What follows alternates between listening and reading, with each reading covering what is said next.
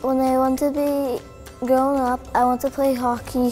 I want to be a DJ or a dancer when I grow up. Probably be video games designer because I like playing video games. Hmm, a dad. Some grown-ups kind of get boring jobs because maybe they'll make like more money with it than they would with jobs that were funner.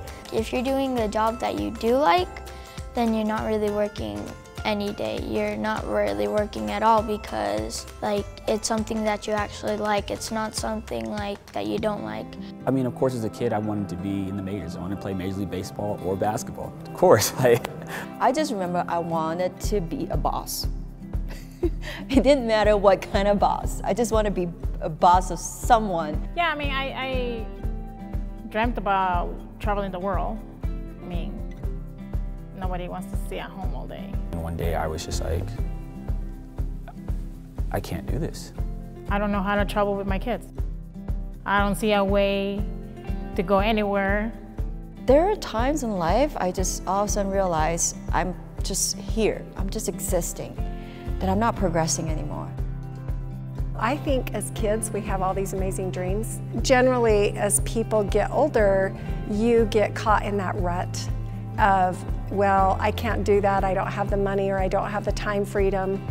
And network marketing actually has fulfilled all of those dreams for me.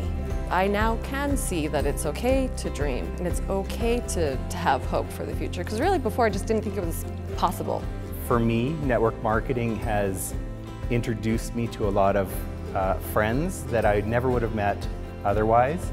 What I'm doing now, I'm able to give people hope. Everything is in your control.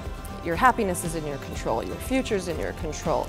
How much you make is in your control. I've traveled to uh, almost every continent around the world. Not only can you go to see a phenomenal area, but you have a purpose. You already have friends in that area. You have to put the work out there. What you put out there comes back. Yeah, it was 100% the best thing that you could ever do.